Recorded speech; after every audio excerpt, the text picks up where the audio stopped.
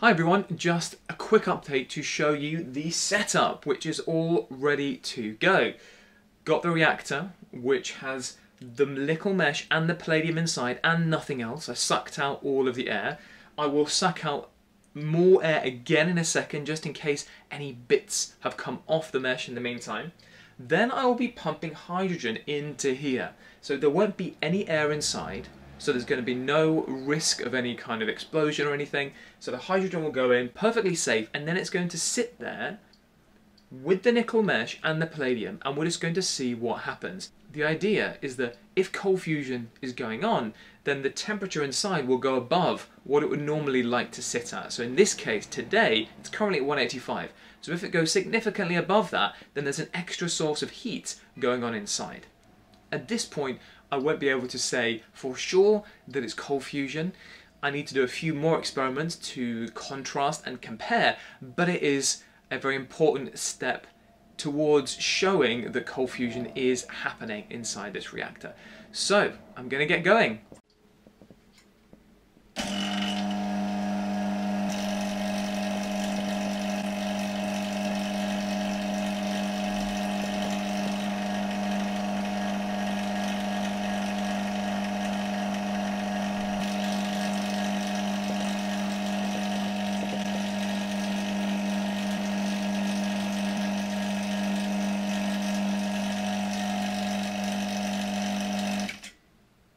Okay, so I've vacuumed out even more air stuff, bits and pieces that might have come off the nickel mesh as it's been heated. So that's all gone.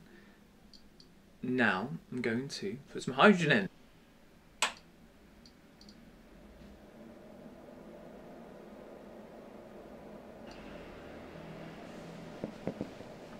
Hydrogen is being made.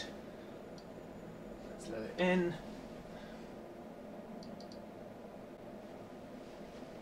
Okay, the hydrogen is being produced by the little machine, but there's still air inside here as well, so we want to kind of flush everything out. So we're going to do that by sucking it through the vacuum pump very gently.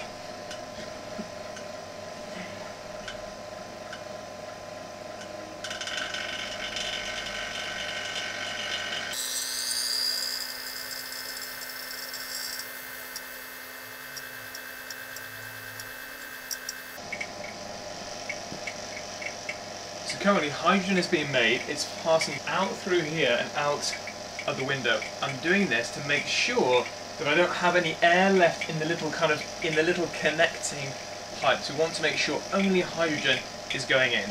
And now we're ready to open up the valve and send the hydrogen into the reactor. And in we go.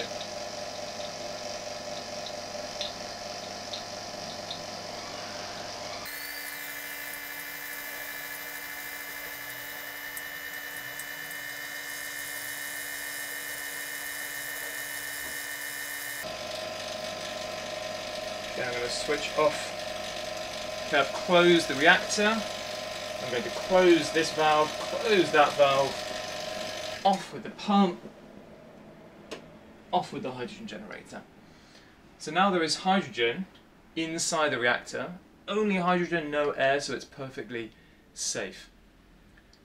I've currently got hydrogen inside this tubing still, so I want to get rid of that so that we're even more safe.